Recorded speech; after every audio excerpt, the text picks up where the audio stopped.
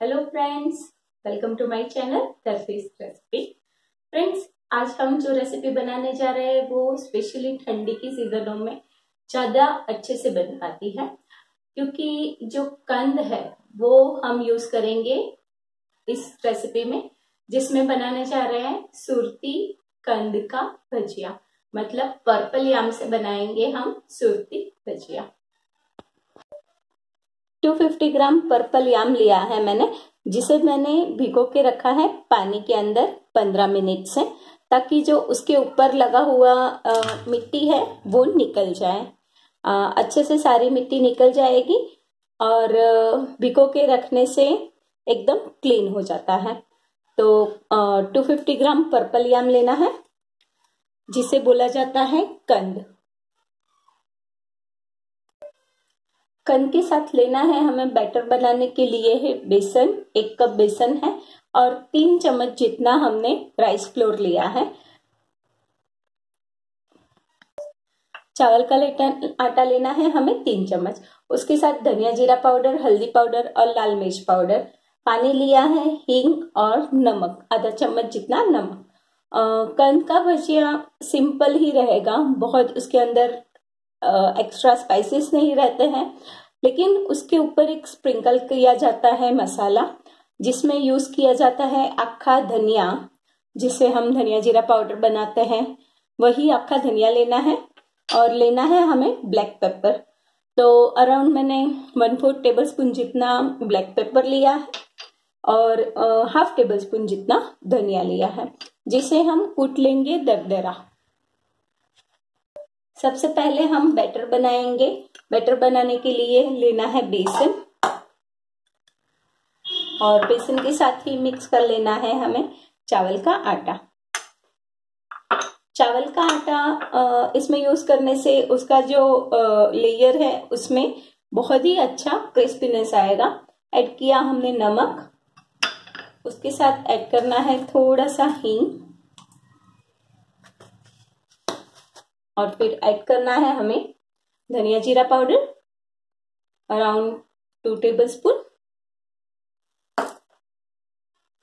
हल्दी पाउडर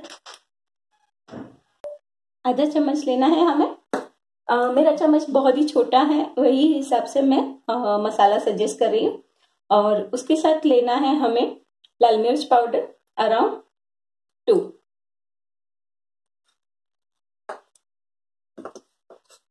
सारा सूखा मसाला एक साथ मिक्स करने के बाद इसके अंदर हम ऐड करेंगे पानी। और अच्छे से थिक बैटर इसका क्रिएट करेंगे। धीरे धीरे करके पानी ऐड करना है हमें। और एकदम ही lumps free thick batter ready करना है। बहुत ही डाइल्यूट नहीं करना है बैटर को।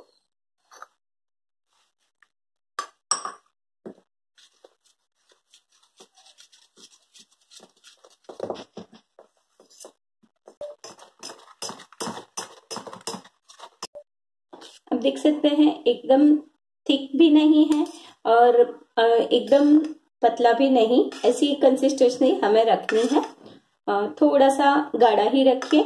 अगर आपको वापस लगे कि कम ज़्यादा गाढ़ा है, भजिया उतारने के बाद तो इसमें थोड़ा सा पानी ऐड करके वापस आप इसका कंसिस्टेंसी कम कर सकते हैं। हमारा बैटर जब तक रेस्ट लेता है मतलब 10 या 15 मिनट के लिए इसे हमें रेस्ट करें देंगे। और तब तक हम उसके ऊपर स्प्रिंकल करने का मसाला और फिर याम को कट कर लेते हैं।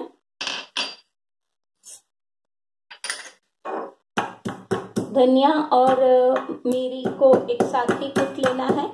बहुत ही बारीक नहीं करना है, इसे दरदरा यानी कि एक के दो स्प्लिट हो गया तो बस हो गया। ये स्प्रिंकल भी रेडी हो गया है कुट के। बस इसे हम साइड में रखते हैं और प्रिपेयर करते हैं याम की स्लाइस इसे अच्छे से रगड़ के इसका मिट्टी का जो भी पोर्शन है वो निकाल लेंगे और अच्छे पानी से एक बार इसे वॉश कर लेंगे। अभी इसे हम पिल कर लेंगे। इसका ऊपर का जो छिलका है वो सारा निकाल लेंगे। पिलर की मदद से पिल करना है।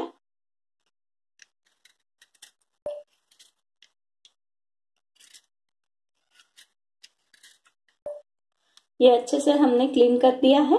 बस इसका हम पीसेस करेंगे। स्लाइस करना है इसे हमें। तो अच्छे से इसे मोटा मोटा स्लाइस करेंगे। बहुत पतला स्लाइस इसका नहीं होगा। इसीलिए हम थोड़ा मोटा मोटा स्लाइस करते हैं। ये बहुत ही चिकट होता है अंदर से बहुत ही चिपचिपा रहेगा लेकिन डोंट वरी इसके ऊपर नमक आएगा और बैटर आएगा तो ये एकदम ही अच्छे से पक जाएगा।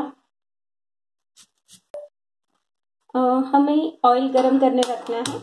और फ्रेंड्स ध्यान रखिए कि अगर आप ये स्लाइस बना के तुरंत ही यूज़ करने वाले हैं तो ये प्रॉब्लम नहीं आएगा।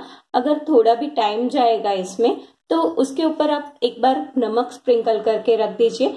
उसका चिकनाहट भी निकल जाएगा और आ, आ, हमारा जो कंद है वो ब्लैक भी नहीं होगा। मतलब कट करके आप तुरंत बनाइए तो प्रॉब्लम नहीं है। अगर आपको रेस्ट देना है थोड़ा तो इसे आप थोड़ा सा नमक स्प्रिंकल करके रखिए।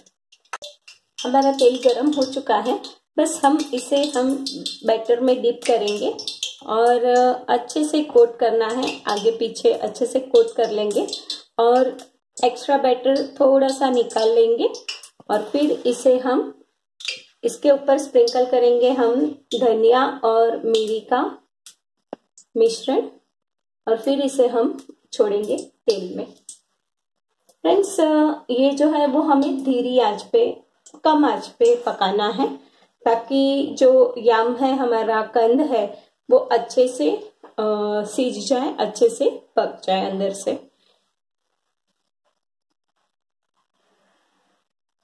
एक बार तेल गर्म होने के बाद हम आज को धीरा कर देंगे और उसके अंदर हम भजिया छोड़ेंगे।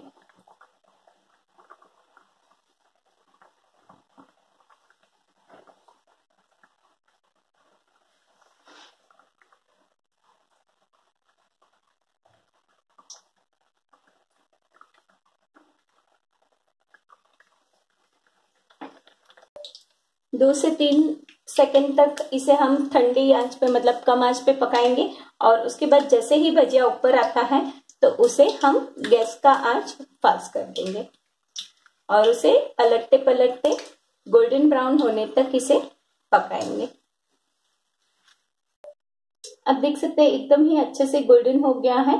बस इसे हम निकाल लेंगे और हल्के हाथों से इसे थोड़ा सा एक्सेस ऑयल कढ़ाई में जाए, वही पोजीशन में इसे थोड़ी देर पकड़ के रखेंगे। प्लेट में निकल लिया है, वैसे ही हम सारे कंद का भजिया छोड़ेंगे। तो फ्रेंड्स रेडी है हमारा सुरती कंदना भजिया। बहुत मज़ा आता है खाने का फ्रेंड्स ठंडियों के सीज़न में ठंडियों के सीज़न में बहुत ही अच्छा आ, कंद मिलता है। ऊंधियू वगैरह में डाला जाता है। तो वही सीज़न में ये बना के अच्छे से खा सकते हैं। और फ्रेंड्स सूरत में स्पेशली इसे रतालू पूरी भी बोलते हैं। तो प्लीज़ ट्राई कीजिए लाइक कीजिए शेयर कीजिए सब्सक्राइब कीजिए मेरा चैनल धरतीस रेसिपी। और हाँ प्लीज़ कमेंट शेयर करना भूलिएगा नहीं। Thank you.